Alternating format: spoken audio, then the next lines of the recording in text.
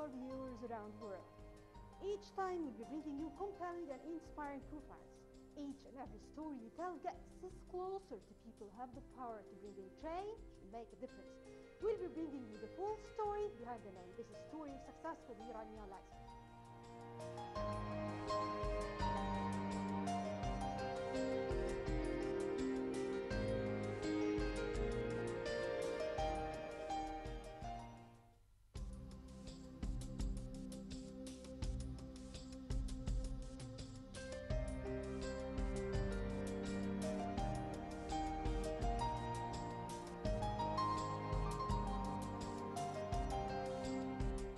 Head of Egypt's military reconnaissance command, who led his troops in both wars of 1967 and 1973, the War of the 6th of October victory.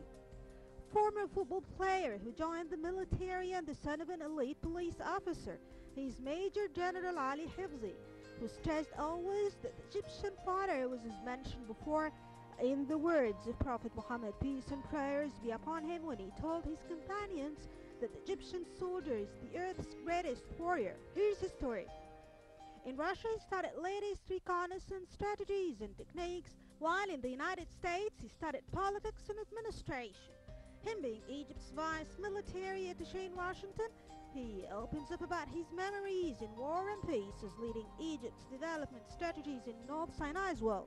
For two and a half years, when appointed its governor, referring to it as the greatest challenge of his career.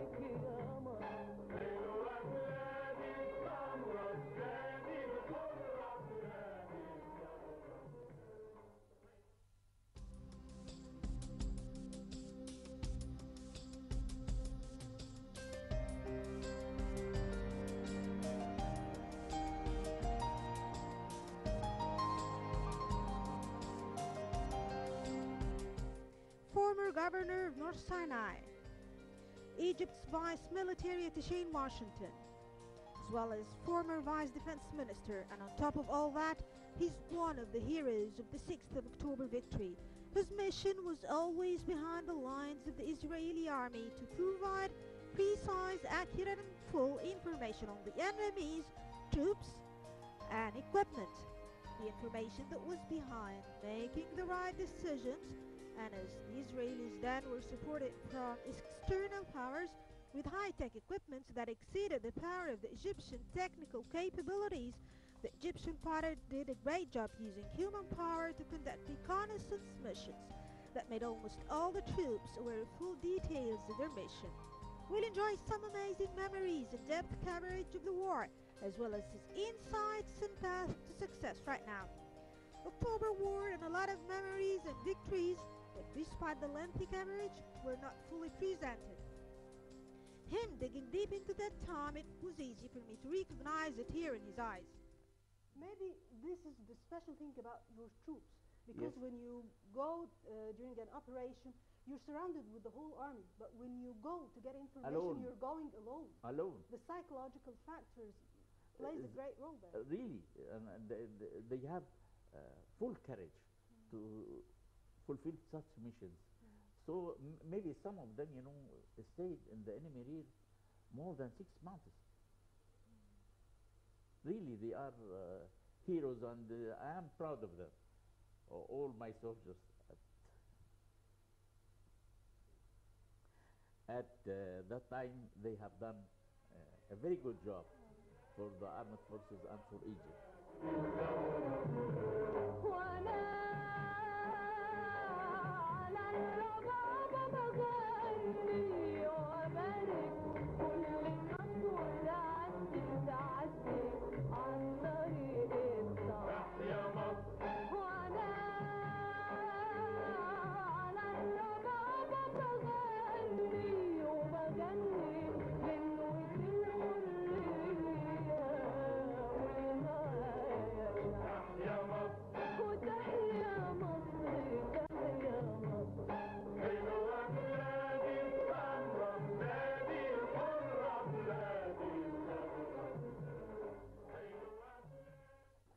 General Ali Hifzi, all the pleasure of speaking to you and going back in time to enjoy those glamorous moments of success of the October victory. It's pleasure to me. Thank you. You were assigned to carry out reconnaissance mission during the heroic October victory, a mission that was no easy one Yes. and no ordinary one due to the high tech that was available to our enemies, Yes. yet we were still behind them with many years in the equipment and the technology because they were supported with satellite information provided to them by the Americans. How did you, and uh, along with your soldiers, carry out your missions then? We'll dig a little bit into your memories then. Really, it was very hard time for us before October War 1973.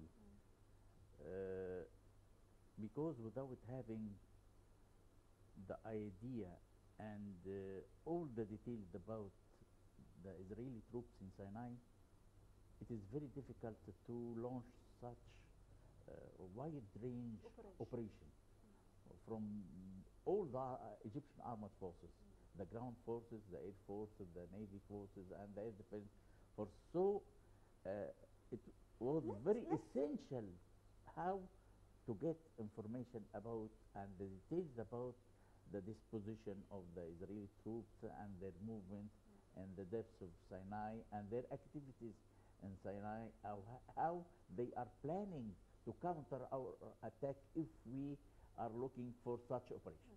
Let me kick start by asking you, describe to me the difference in the level of equipment and the difference in technical capabilities. Uh, yes, uh, you know that the technical capabilities mean that, you have, as the example, the night vision devices which you can watch the other side at night. We don't, when we don't have such equipment in our forces at that time.